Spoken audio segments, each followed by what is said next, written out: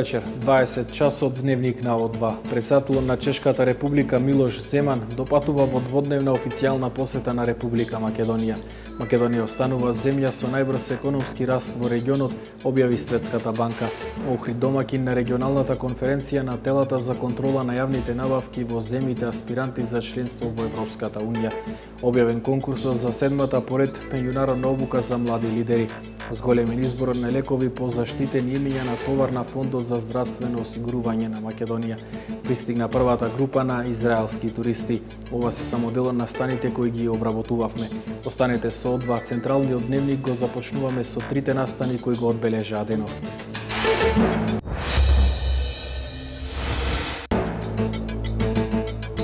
Председателот на Чешката република Милош Земан во дводневна официјална посета на Република Македонија. Македонија останува земја со најбрз економски раст во регионот. Терористички напад во Телавив.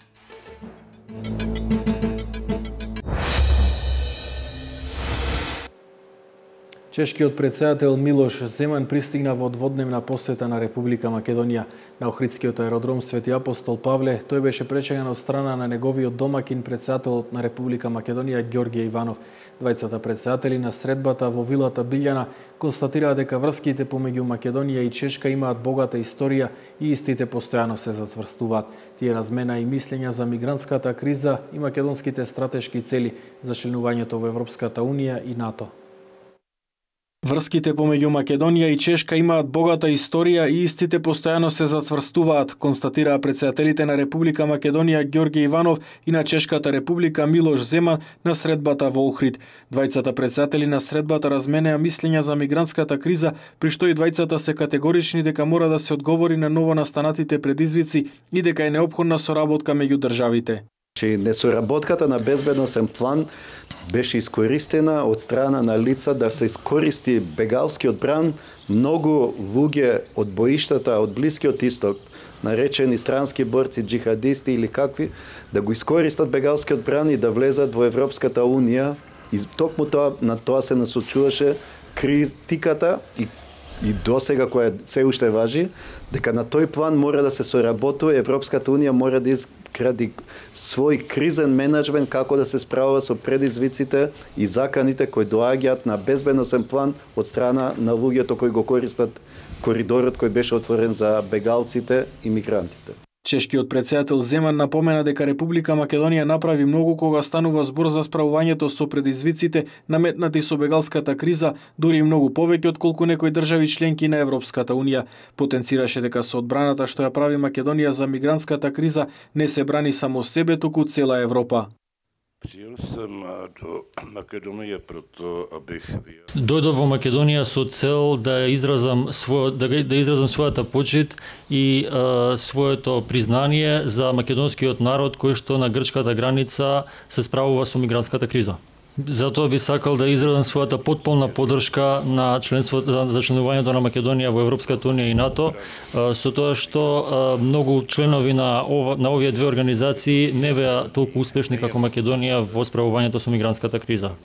Во однос на македонските стратешки цели за членувањето во Европската Унија и НАТО, Иванов ја нагласи потребата од заживување на процесот на проширување на двете организации. Негова забелешка е дека интегрирањето на целиот регион во Европската Унија и НАТО е од суштинско значење за регионалниот мир и стабилност и најсоодветен одговор на сите предизвици како миграцијата и безбедноста, а воено ќе придонеси и за заекнување на демократските институции и економски развој.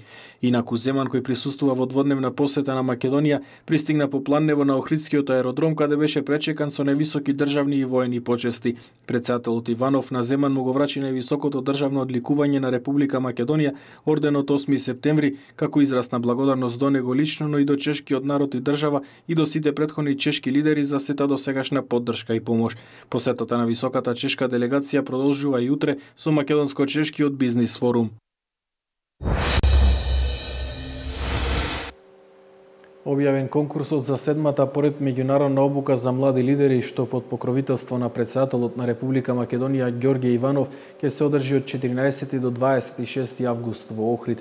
Програмата е наменета за млади луѓе со завршено високо образование кои имаат желба преку нивните лидерски вештини да придонесат за позитивен развој на општеството и околината во која живеат и работат. Како што се наведува во објавениот конкурс, програмата на школата опфаќа предавања и практични вежби за лидерство со еминентни предавачи од земјава и странство, а наставата се одвива на македонски и на англиски јазик. На конкурсот што е отворен до 17 јуни може да учествуваат сите лица од Република Македонија и наши иселеници што живеат во странство. Условите за конкурирање предвидуваат апликантите да имаат одлично познавање на англиски јазик, да имаат висок просек еднаков или поголем од 8,5 на додипломските студии, а работното искуство од една до 5 години ќе се смета за пренос. Апликацијата што треба да се достави до кабинетот на председателот на Република Македонија треба да содржи биографија, кратко мотивациско писмо, копија од уверение за положени испити, потврда за одлично познавање на англиски јазик и две препораки. Школата за млади лидери за прв пат беше организирана кон крајот на август 2010 година во Охрид. Во изминатите 6 години на не учествува околу 240 млади луѓе со различна академска и професионална определба. Учесниците на досегашните школи се организирани во алумни асоцијација ИСЛА, регистрирана како посебно здружение, каде што преку организација на семинари, панел дискусии, предавања и учество во младински настани продолжува развој на знаењата и вештините на досегашните учесници на школата.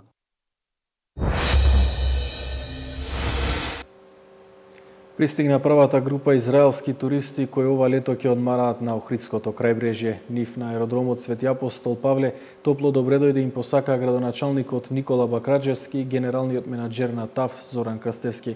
Израелските туристи пристигнаа преку авиооператорот Аркија Интернационал. Јас сум особено денес радосен за оспоставување на овој лет, На навистина со државата Израел ме врзуваат драги спомени. Имам а, многу блиски пријатели и другари кои што живеат во Израел, а и а, израелци кои што а, живеат во Република Македонија, зашто ми е посебно драго и се надевам дека со воспоставување на овие чартер летови три пати неделно, за кои што предпоставам ќе говори менеджментот на ТАФ Македонија, ќе имаме можност да нашите пријатели, нашите а, другари од оваа пријателска држава ги гледаме на Охридското крајбрежје оваа година. Да ви посакам добродојде да и да и искажам нашата благодарност до сите учесници во остварувањето на овој проект на директни летови од Телавив за Охрид, можност гости од Израел да го посетат она што најчесто сакаме да го истакнеме во Охрид, македонскиот Ерусалим. Ова е добра прилика секако да се запознаат и со другите убавини на Република Македонија, да се запознаат и со храната, да ги пробаат нашите вина, но и да почувствуваат гостопримливоста и љубезноста на нашите домаќини.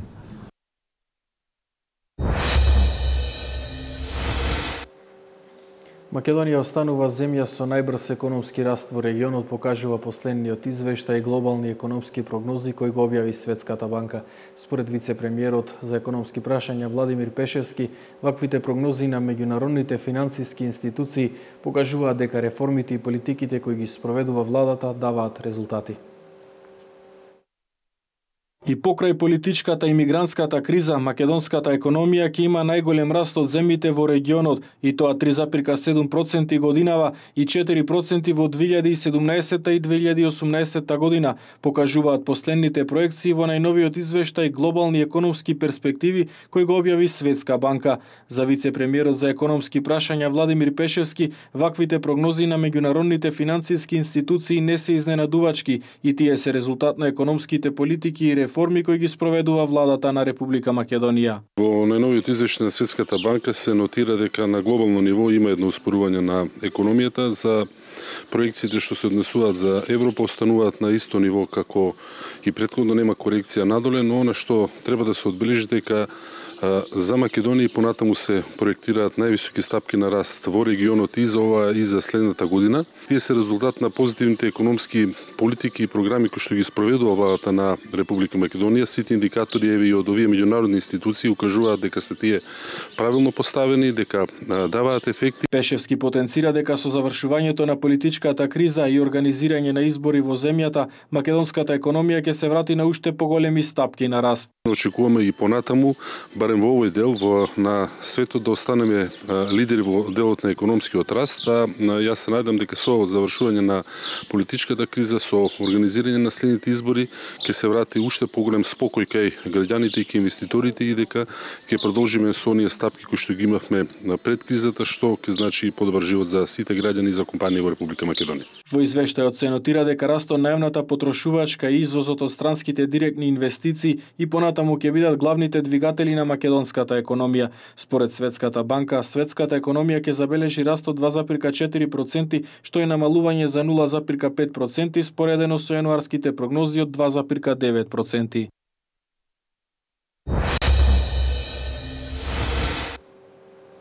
Зајакнување на системите за јавни набавки, размена на искуства и практична примена на европските прописи и директиви за правната заштита во областа на јавните набавки се целите на регионалната конференција на телата за контрола на јавните набавки во земјите аспиранти за членство во Европската Унија, што се одржува во Охрид. На истата обраќање имаше и вице-премиерот за економски прашања Владимир Пешевски.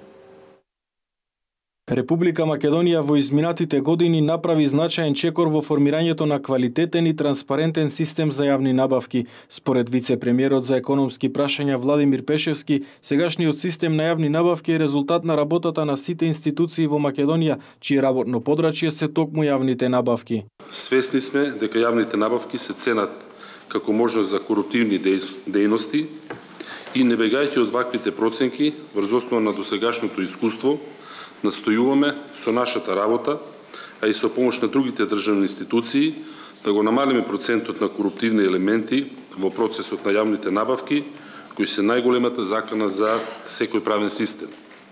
Всушност, тоа се и нашите цели на патот кон Европската Унија.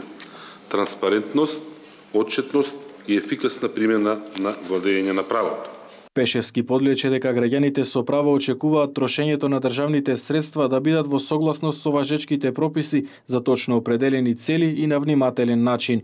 Државната комисија за жалби по јавни набавки, како независно контролно тело во системот за јавни набавки, напорно работи на подобрување на системот на јавни набавки во Македонија. Главниот приоритет на државната комисија за периодот кој следува и понатаму останува квалитетно и транспарентно остварување на своите надлежности во законски утврдени рокови, одржување и надградување на веб страната на Државната комисија, а особено важно е и воведување на електронски систем за управување и водење на целокупната жалбена постапка пред Државната комисија. Познавачите од оваа област велат дека потребни се соодветни механизми за да бидеме сигурни дека сите оние кои што се вклучени на пазарот на јавните набавки го применуваат законодавството во пракса. Редовно вршиме оценување на системите на јавно управување, вклучувајќи го и системот за правна заштита кај јавните набавки во земјите опфатени со процесот на проширување. Оцените покажуваат дека најголем дел од земјите имаат стабилна институционална рамка за правна заштита кај набавките и дека овие институции се развиле во едни стабилни и успешни тела. Инаку деновиве во Охрид се одржува регионалната конференција на телата за контрола на јавните набавки во земјите аспиранти за членство во Европската Унија. Истата е можност за размена на информации и стекнување на нови практики и искуства од примената на прописите од областа на јавни набавки. Продолжуваме со останатите настани кои ги обработуваше информативната редакција на О2. Зголемен изборот на лекови по заштитени имиња на товар на Фондот за здравствено осигурување на Македонија. Ова го истакна директорот на фондот Сашо Стефановски кој рече дека од 11 јуни листата ќе биде проширена со додавање на 80 нови заштитени имиња на лекови од 23 различни производители и компании. Истото ќе допринесе за бројни придобивки за осигурениците. Листата на лекови по заштитени имиња на товар на Фондот за здравствено осигурување на Македонија од 11 јуни ќе биде проширена со додавање на 80 нови заштитени имиња на лекови од 23 различни производители компании во рамки на постоечки генерики, што е за 4 од 100 повеќе лекови за осигурениците кои имаат позитивен став за ваквата одлука. Па, па добро е, значи, се, се што е на позитивно, стварно може скапи, ама ко че е па на со рецептом малце е подобро за луѓето. Добре, добре. Што треба нешто да се направи, тубо да се направи. Само да се не одзема, да се направи нешто, да се додај тако треба. Ако е така, добро е за сите, мислам. Поевтини лекои да имат и така. Да не се жале луѓето на имало, немало. Сега поќе луѓето се болни. Добра работа е тоа што? Позитивно, добро. И за пензионери тоа е добро. Придобивките кои ги овозможува фондот со оваа измена, според директорот Саша Стефановски, се бројни. Зголемен е бројот на лекови достапни за осигурениците преку аптеките и болниците, поголем е бројот на лекови без доплата, а со тоа се зголемува и конкуренцијата на пазарот на лекови во државата и има можност за натамошно намалување на лековите во рамките на постоечките генерики, што е за 4% повеќе лекови за осигурениците за избор отколку до сега. Со ова вкупниот број лекови од различни производители, што се достапни за осигурениците на товар на фондот изнесува 2010 лекови или 52% од вкупно регистрираните лекови во државата. Буџетот на Фондот за лекови во примарната здравствена заштита за годинава е 2,5 милиарди денари и е најголем досега за таа намена. На примарната листа на лекови на товар на Фондот за здравствено осигурување на Македонија се лекови кои се пропишува на рецепт од матичните лекари, наменети се за вонболничко лекување и се издаваат во приватни здравствени установи аптеки кои има договор со фондот. Дополнувањето на нови регистрирани заштитени имиња на лекови чии генерики се веќе на позитивна позитивната листа, фондот го работел подолго време и го реализирал во соодветна процедура. Охрид нуди сосема прикланни цени за нашите и странските туристи кои во престојниот период нема драстично да се променат, вели председателот на Сдруженијето на угостители Михаил Мишев, кој вели дека и покрај се, охридските угостители очекуваат одлична туристичка сезона. Како се наближува летото, така и бројот на туристи во Охрид се зголемува. Некои од собствениците на охридските кафулиња и ресторани, токму тој наплив на туристи во лето, менаџерски знаат да го искористат со креирање понуди, разноразни аранжмани и евенти за подобра атмосфера и поголем профит. Но доста значаен момент за посетителите се цените од ценовникот во секој угостителски објект – Солиден ручек за четворица ке вечини некаде во просек од 10 до 30 евра. Нормално, се зависи од изборот и вкусот на посетителот. За Охрид уште многу одамна е пуштен муабет во јавност дека нуди народски така наречени солени цени, но тоа се само празни муабети, вели Михаил Мишев, председател на Сдруженијето на огостители од Охрид, кој додава дека напротив цените во Охрид како туристички град се доста помали споредбено со тие од метрополските ресторани во Скопје и за предстојната сезона не се очекува поскапување или некоја драстична промена кај нив. Во споредба со да речеме во Скопје например цените Скопје ако го земеме како еден репер цените се далеку повисоки од Охрид и иако поголемиот дел од гостите кои што ни доаѓаат през летната сезона се од Скопје сепак ни излегол некој муабет дека Охрид е скап. Мислам дека не се работи за тоа, цените во Охрид се доста достапни и согласно нормално категоризацијата, значи кој објект на кое место се наоѓа, како каква е политиката на на самиот објект со со со каков инвентар располага и така натаму. Што се однесува на следнава престојнава туристичка сезона, ќе чекаме сама да ни каже, бидејќи како што се приликите во земјава гледате и сами, ќе видиме. Меѓутоа, мислам дека и да има некое покачување на цените, тоа покачување нема да биде ни драстично, ни ни нешто особено ќе влијае на, на, на, на самото туристичко работење во градов. Во однос на сместувањето, Охрид и оваа сезона ќе привлекува туристи со послаба куповна моќ во ниските цени за приватно сместување. Висината на цената по непишено правило ја диктира местоположбата на апартманот. Во центарот на Охрид за дневен престој цените се движат од 10 до 15 евра, а за одмор во елитни студија ќе треба да платите 20 или 25 евра. Подалеку од буката во Љубаништа може да се најде апартман за 350 и 250 денари по лице. Тоа значи дека сите кои се уште немаат испланирано каде на летен одмор, а имаат ограничен буџет за летување, можат слободно 5 до 10 дена да одмараат во Охрид. Има што да се види и проба, и тоа за солидни средства кои секој може да си ги дозволи. Одбележан 9 јуни меѓународниот ден на архивите. Оваа година овој ден се одбележува по 9 пат, а за прв пат истиот беше одбележан во 2008 година. Целта на постоењето на архивите е трајно да го чуваат јавниот архивски материјал и да обезбедуваат услови за негово непречено користење во јавноста. Државниот архив на Република Македонија неодамна одбележа 65 години од неговото постоење. Под мотото Архиви, хармонија и пријателство, одбележан по девети пат меѓународниот ден на архивите во светот, самиот датум 9 јуни има символично значење, бидејќи на тој ден во 1948 година е основан Меѓународниот архивски совет под покровителство на УНЕСКО.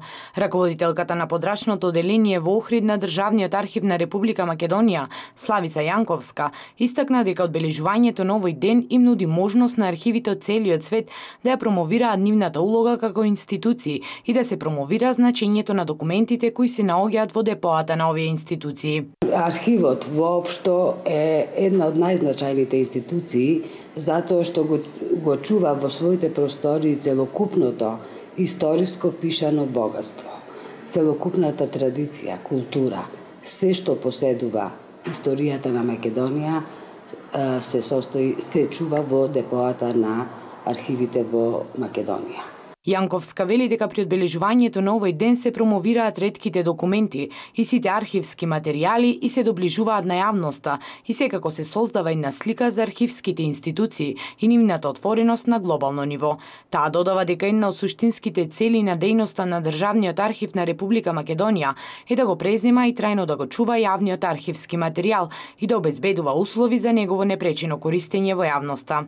Охридското депо чува многу значајни книги од османлискиот период, значи ние имаме ракописи од 14 век па навака. можам да кажам дека поседуваме една импозантна бројка од 2650 книги од, од османлискиот период, меѓутоа не се сите само на старо турски, старо арапски, току имаме ракописи на старословенски, на старогрчки јазик. Неодамна на 1 април Државниот архив на Република Македонија го прослави својот јубилеј 65 години од своето постоење со издавање на монографија за самиот развој и постоењето на Државниот архив на Република Македонија. Во дневникот на О2 следува временската прогноза.